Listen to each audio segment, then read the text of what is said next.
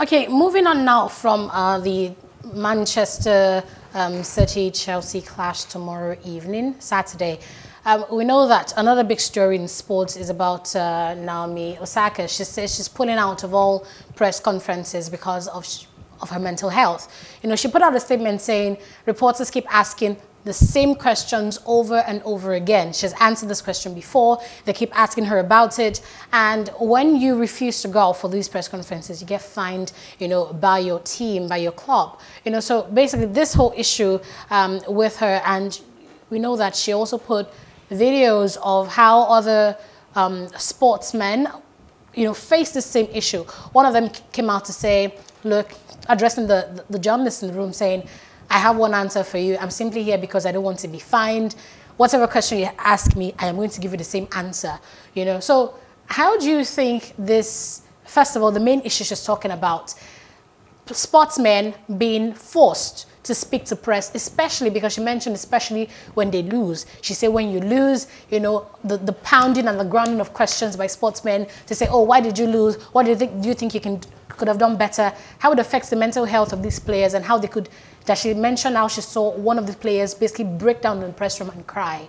I think um, what this has done to we journalists, including all of us here, is that it's put the, the, the job itself on the burner this morning.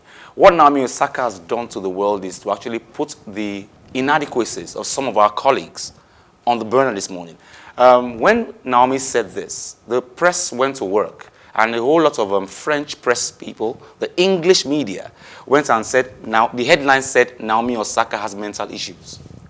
You know, and that put our job on the front burner because what she actually meant was when a sports person loses, the mental stability of that person is shaken. Mm -hmm. And then to ask her a question about the loss is bad enough. It affects that. And then she says, you see, I was talking about pressmen and the media, always thinking about the exclusive running back to the office with a good story, not thinking about the sports person you are talking to. And I see what they've done now. They've now misquoted what I said to mean I have mental issues. Now, it puts our job on the burner this morning, as in, mm. do we actually cool down?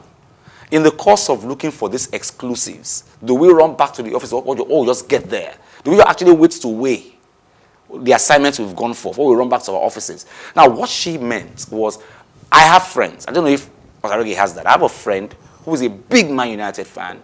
And whenever his, his wife is at home, he goes to, like most men, he goes to watch the game with the boys. You know, but they have a cable in their house. So the wife is monitoring the game while they're watching the game with the boys. Immediately, Manu loses that game. She takes all the food for dinner into the freezer. He's not eating again. You know, that's how some people take yes. their loss, you know. And so what Naomi meant was, it's punishments that have lost the game it's worse off. It's like you have to, dead horse. It's now worse off to actually force me to discuss it. And then if I don't discuss it, you find me. You know, she thinks it's not right.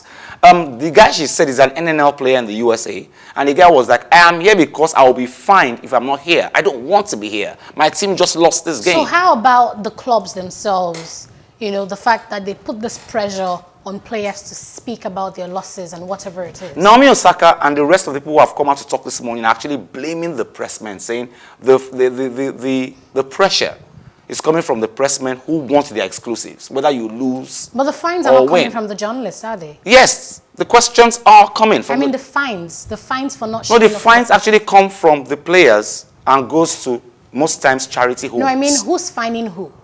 The organizers of the event fine the the participants for not answering the question from journalists. That's what I'm saying. So the, these organizers of the events, I mean, what's their own share of the blame? Well, they are the ones who should understand that if someone loses in an event, whether it's tennis, whether it's football, the person has a right to say no comments.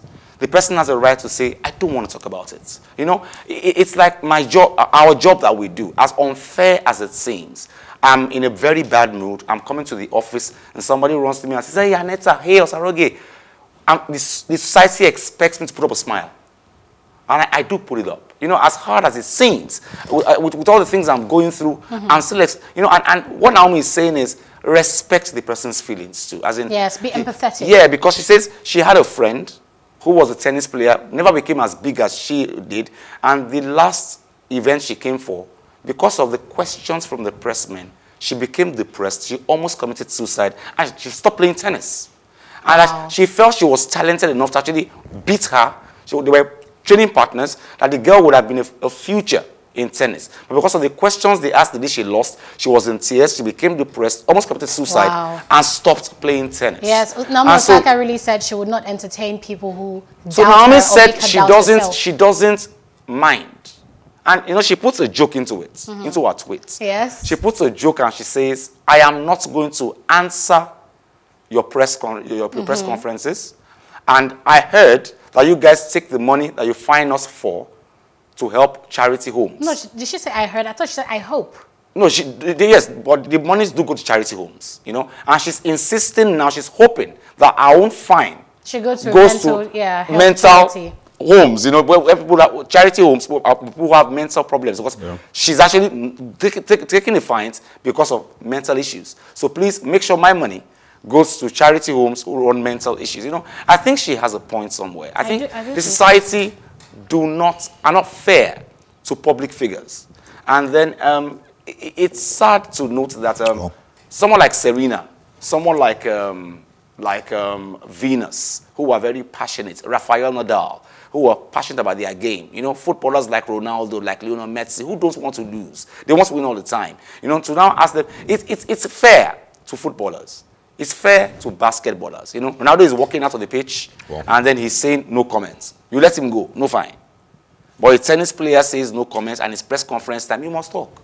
Well, mm. you know, you can't pick and choose, you know, when you have comments and when you don't have comments. You know, they can't only interview you when you win.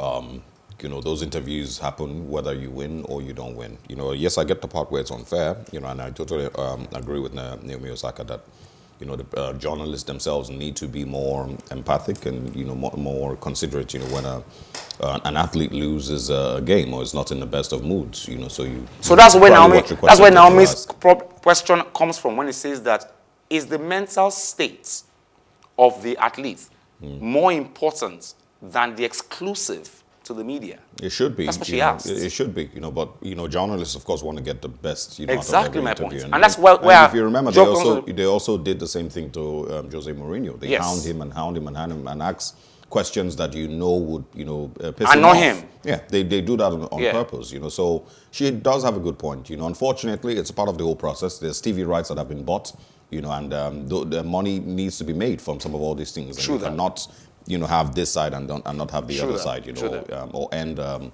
the game right after, you know, a, a, loss. But she does have a point.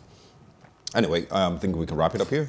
Uh, we're having a conversation coming up next uh, on the Nigerian Constitution. And uh, the question, of course, is do we need to amend the current Constitution or we need a brand new Constitution?